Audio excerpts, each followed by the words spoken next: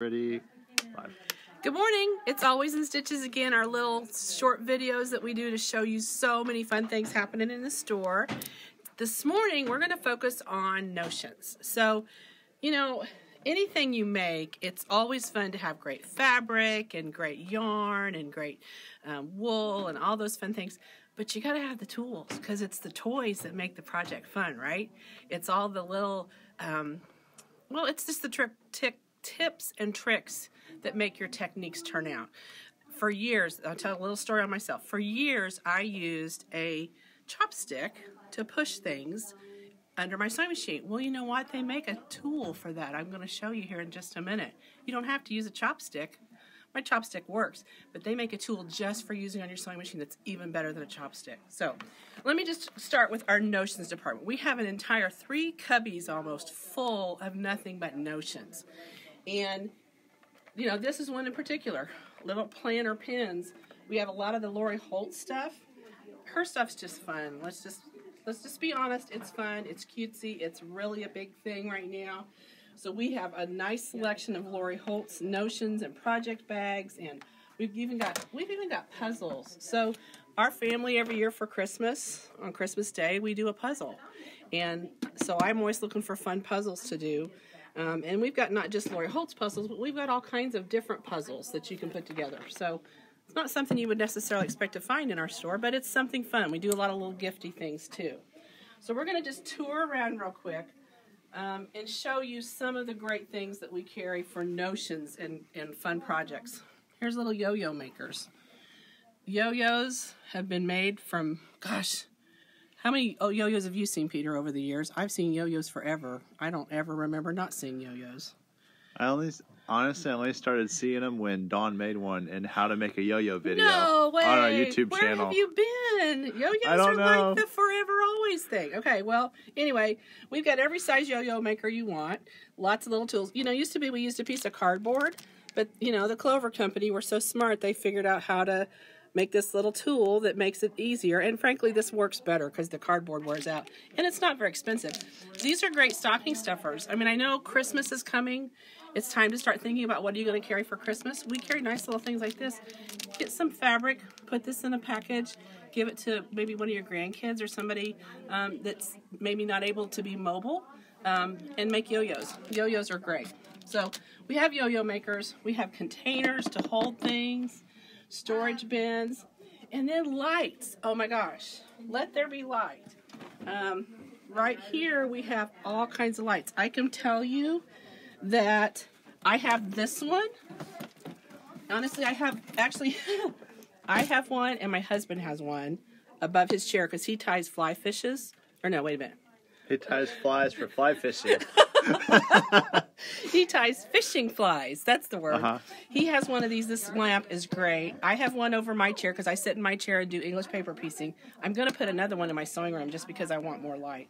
These are great lamps.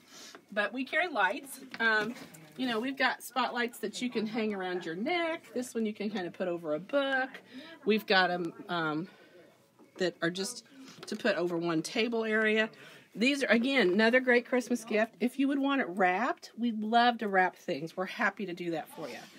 Um, and we have books. We have, um, right now in the quilting, like Josephine Holtz, these are um, all kinds of books that are novels, um, fictional novels about uh, quilting and series of books. We've got some real big book readers in our staff, and so it seems like they're like, oh, this is a really good book and we'll have to pick it up. Again, great stocking stuffer. If you got a, a, friend that quilts and is a bookworm as well, these are great opportunities to get some really fun books. So, I mean, that's kind of notions, yes, but more than that. Um, so, we kind of blazed past scissors. I did the center thing. We've got all kinds of scissors, every shape. How many scissors do you have, Peter? I think I have three. Really? Okay. Uh huh. My Ginghers, uh, an embroidery pair of scissors, and then a pair of the plastic handled Fiskars scissors. Well, I'd have to confess. How many do you have? I probably have more than that already. It's it's kind of a sad thing because you get one pair that does one thing and you love, and then you get another pair that does something and you love those. There's all different kinds of shapes and sizes and scissors. Again, this is a great gift for somebody if they're looking. Um, I got to use these in a class. Those, those are my are favorite. These snips are I fabulous. They're like little bitty, teeny tiny, super super sharp. For getting those little threads. Oh yeah, Pesky threads. and they squeeze. So this kind, it's not tired on your hand when you Spring loaded. I They're spring that. loaded, yeah. They're really, really fantastic. Seam rippers. If your seam ripper's not working, it could be dull. You don't sharpen a seam ripper. It's like a disposable razor. Once it's dull, you replace it. But that point in there gets dull. If you've got the same seam ripper you've had for 40 years, it's time for a new seam ripper. Just buy one. You'll be glad you did. Um, okay, turning tools. Okay, I told you about my chopstick. See, I was tag tagging you on a little bit. Is it the It's a Purple thing. thing. It's a purple, and it's look. It's called the purple thing. Oh, can I tell you a secret? What? So when I started shopping here ten years ago, that was the first thing you sold me. You're was kidding. the purple thing. I it's still the, have It's like it. my Yep. favorite thing. Honest to goodness, I think I have two. So here's what's so cool about the purple thing. If you don't have a purple thing, you need a purple thing. It's four bucks. It is the best four bucks you've ever seen because it does everything. So on the end of the purple thing, can you see it? See that square? Hold on, hold on. See my square? Put it up against that. Trying to zoom in. Can you get it? Kinda, yeah. Kinda, yeah. idea. Okay. So that square is a quarter inch square. Do you know how many times I'm working on something and I'm like, okay, I need that to be a quarter inch. And I just lay that little box on there and it's exactly a quarter inch. I can measure my quarter inch. And then for pushing, like if I'm pushing fabric or if I need to poke out a corner, that's what that part's for. So that's my poker, my pusher, you know, sliding fabric under the needle. When my fabric, if I'm quilting, if I'm putting pieces together and the fabric folds the wrong way, I can slide the foot up and stick this in there and straighten it out. And then this little slot in here, I can use to pull things and turn. So I can put a piece of ribbon through there and then I can pull that through and it's a turner too. Oh. The pur- Cool. oh, didn't know that about your purple. I forgot thing. about that, yeah. So this is like the best tool. Everybody should have a purple thing. If you don't, you need one. So that's my favorite. that, um, and then we have okay. My next favorite thing is this stiletto tool. This is a great one too. It's by Annie. It's a nice sharp point. I do a lot of bags, and I like this for that point. And then the bottom. You don't make a bag without that, do you? I don't. And then this is a flat you can press with that. So it's it's like a finger press, but you can use that to press with. And it's pretty. I like it because It's cool. It is very pretty. So that's another tool. You know, bobbins. Oh, and then there's needles. Ay, ay, ay. I just got to work on a project that had, um, I didn't have the right size needle. And so I bought this like big honkin' for everything you could ever possibly need. and I'm really glad I did. I love that craft pack. I do too. It's got every needle I just like knowing need. I'm ready. I'm prepared. I know. And that's what happened. I was like, I need a needle and I need it to be just this certain size. And I didn't, and I went through everything. I didn't have what I needed. So that's good. Um, sewing machine needles. If you're not replacing your sewing machine needle all the time, you should. Every pro- project deserves a new needle. Just that's your rule. Pins and and binder clips. Okay, have you not used binder clips? Because if you haven't, Those are my favorite. I love the minis, like for Yes. piecing. where's the itty bitty bitty nose The, ones? I use the They're baby there. ones instead of using pins. Yes. I just use the clips for my for piecing. So these have a little, up seams. I really love them. bitty nose on them. Oh, They're like get in there. tiny. They're tiny. That's what a Oh, quarter of an inch. those. They make me so happy. They do make me happy too. Quarter inch. These are more like a half an inch, and they have lines on them. So there's marks that you can tell where your half inch, your quarter inch lines, you can't see them from this side, but they're there. And then we have the big ones, the jumbos too. oh, I didn't see those. I love my jumbos. How- I use what are my those jumbos. for? Hair clips? Um, yeah, hair clips. We'll see. Virginia. Virginia will put them in her hair. We have a staff member who has hair clip story. It's, it's funny. Ask us. But no, I'll use these for for bigger things. When I'm especially when I'm making bags, sometimes I need a big clip or binding. oh, for all the for the twelve layers of For the vinyl. 12 layers of vinyl I'm trying to sew that my machine's going. So binder clips. If you don't, if you're not using these, start using them. You'll never go back. I mean, you, you won't. You won't get over these. I gotta put these back right. I get in trouble. Okay. Thimbles. Thimbles. You got to have thimbles. Those are super important. So we're gonna sneak around the corner here. This, we're gonna get photo bombed, or we're gonna photo bomb them. I'm not sure which. Thread. That's right. I'm right Sneaking behind, behind you you. with the video. So just say hi. Hi. Hi. We're, shop- we're shopping. We're shopping, Shopping thread. thread, yeah. So and that's Give the next thread thing I'm going to talk about is thread. Lots of we thread. have lots of Aurifil thread. We have glide thread.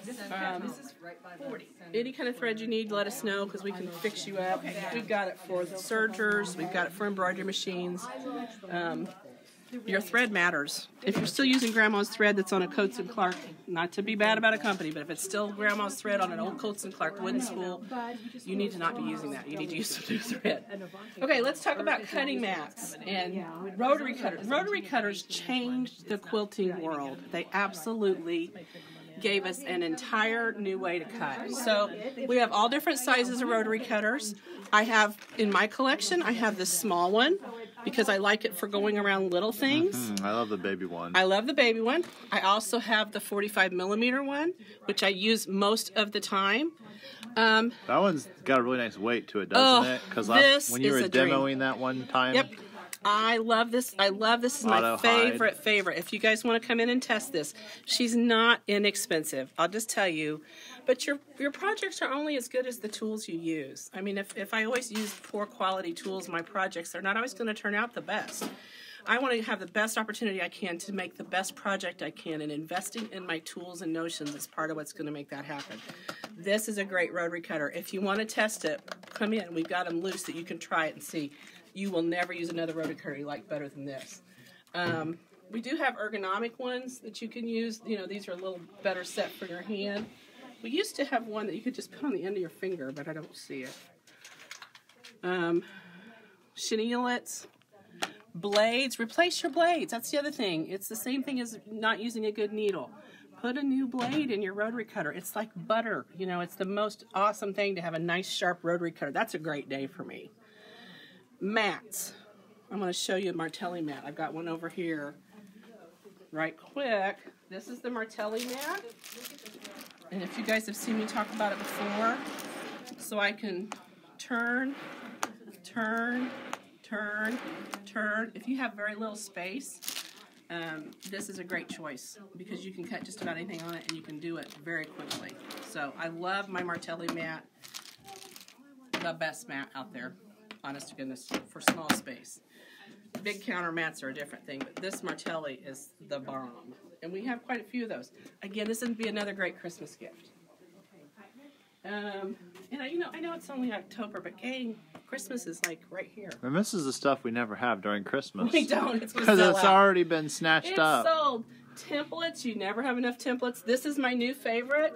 oh, Oh, this is the bomb. oh wow, that is nice. No, wait a minute. I'm lying. That's not this one. Oh, the Big Easy. The big, big, big one. This one is fabulous. I thought, how could That's I not ever- gonna ever slip. I know. And I'm just to tell you, I was like, what would I do with a one this big? I use it all the time. All the time. It's my new favorite. That's one you want. Okay, so there you go. Grids, we've got grids, we've got templates. What size do you want, people? I got every size you can imagine. So and then we have our ironing stations. So here we go. The pads to put your iron on. Oh, this is the buy bindings. that. I have this on my iron. I love it. I need that. I love it. Here, we'll just take that. We'll put it back. We'll put it back on your desk.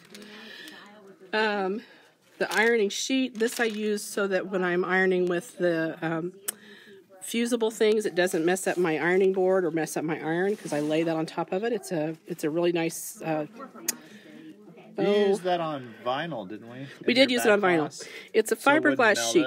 it? hmm It doesn't melt the vinyl. Kind of. It's just a good. It's, this is a great, great piece you need to have. We're gonna have to just do demos on all these things. Bitty irons. I love this little mini iron. Oh my gosh. They are great. It's cute, but it's also functional. It's great for getting in and just doing a seam at a time. Um, and this gets stinking hot. I'll just tell you. Oh look, they got a little holder for it. I didn't know they made a holder. Yeah. I've totally got to have cool. that. Look, it's a little ceramic thing to Well, sit let's on take too. that off and put it on your desk. Okay, take that off from my desk. this is why we come out here so This we can is funny. shop. We're doing videos We're and shopping at the same time. We do carry irons as well. So, um, lots of things to think about when it comes to an iron. We've been irons. out of a lot of these. out. We this is the fullest I've ones. ever seen this shelf. Yeah, we finally got some of the big ones again. Oh, There there's a that big iron. Maven. Ooh. This is the, this is the one I have. I love her. She was she was steaming things this morning because you can use it as a steamer, not just an iron. and it holds so much water, you It don't does. have to keep refilling it. She's the best. She's the best. The best. I also have a little one of these because this is just a nice one to go into little places. Here's the other thing that's cool. So this comes with, that's how it rests. So see, it's like a little heat pad that it sets on. But when it stores, it goes into this thing and it slides. See how that all goes around it? Why am I just not finding this out? I know. So this, I know this is not. I got to get it in there, but it's it stores in this part. So there we go. See that? So when you store it, that covers it. But when you want to just use it, you just turn it over, and that just it sets on it. Cool. Is that great? That's Comes All in great. one package. Okay. Now we're not quite done. Oh, did you get a shot of the stencils there? Quilting stencils. We all still use quilting stencils, I suppose, to mark things. I, I don't do a lot of quilting in the sense of finished quilting. I pay somebody to do mine, but for those of you looking for stencils, we do carry, and we change these out. We we we have a few right now, and those will change out. We'll get more in all the time. But that's where you use your pounce and make your stencil in there. I'm knocking things down. Okay. Let's go around the corner and show them the other two things. That's primarily, I mean, if we don't have it, ask us. We can tell you where it's at because if it's not right here. Um, and then this is kind of our Kimberbell zone where we have a lot of the Kimberbell accessories. It's our machine embroidery area as well. You're going to find all your stabilizers, um, your vinyls, your zippers. Those of you who do machine embroidery, Okay. this is going to be like your Oh, all right. playland I'll right put your here name on it. And it's fairly extensive. Um, we do we are a Kimberbell certified store, and so that means that you know we do offer classes that not other stores are allowed to offer because we are certified as a Kimberbell dealer. So we've got lots of CDs with the embroidery designs on them. Some of them are just stitching designs too. You don't have to have an embroidery machine. You can make these bench pillows without. Matter of fact, I even made this one at one point, and it was just precious. It was so much fun. Great instructions, great scrap busters too. These projects are great scrap busters, and people like to receive them as gifts. I mean, really do. We do have some of our kits left. Marion Bright kits. Uh, here's a tea party kit. Um, this is Garden Guild kit. So these are the complete embroidery kits that have the CD, how to make it, or thumb drive. Oh, and Oh, here's one for Halloween. Halloween. Too, cute, to spook. I love that one. So those are the kits That's a if you want. one. That is a great one. More thread. This is specifically good for embroidery machines, so it's kind of why it's in this department. Some more thread here. Well, we just have lots of nooks and crannies. You got to spend some time. And then the last place I'm going to take you is my favorite because here they say Cappy's a bag, and I am. so we make, we have handbags and lots of handbags here. I think our newest thing in the notions department is we're now carrying vinyl. So this is a vinyl um, combined with a fabric. Not hard to sew. It can Very be done. easy to Very sew. easy if to I can sew it, guys, you can sew yeah, it. Peter made it. And then look at all the vinyl colors. We Oh, it exploded. we exploded. We've got navy. We've got pink. We've got aqua. There's a real pretty mustard down here. Oh, that's cool. Isn't that gorgeous? Here's a nice honey brown. So these are all little chunks of vinyl, Big chunks. big chunks of vinyl. This Those piece right little. here, okay, this is an 18 by 25. I just made a handbag out of this. It is stinking cute. 10.99 was all I had to pay for the for the faux leather. Wink, wink, nod. But you can't tell it's not leather. You really can't. Um, to make that bag, and it's it's really kind of almost less than the fabric in some ways. The finish is amazing. So, bags notions. We've got zippers. We've got patterns. If you want to make a bag, it's easy. It's a great start. And people are so impressed. You'll be in a store and they're like, oh, I love your bag. And I made it. And they're like, what? You made that bag? Yes, I did. I like the bags because they're so useful and you can Yes. find a way to carry them every day. I have a Yeah. craft bag I made that is lives in my tote, and then I have that um, vinyl bag that I took your class, which I absolutely love. It's fun. Bags Ah. are fun. And what makes them bling are these accessories. So this you is made what that one, sends them. Didn't you? Make that one down there? Yes, I did. This is a recent one. Look at yeah, this one's fun. Look how fun this one is. Let's show that one off. Let's show that one off because we actually still have this fabric. So this one's fun. Look at the pockets. I love how they fold over and the cute buttons on it. And it makes for lots of storage. This is a great beginner bag, honestly. Anybody can make this. It is super simple. Look at all the pockets inside. Isn't that fun?